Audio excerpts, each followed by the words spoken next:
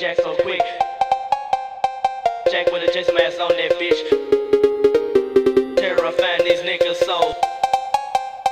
Six six six, we like this shit.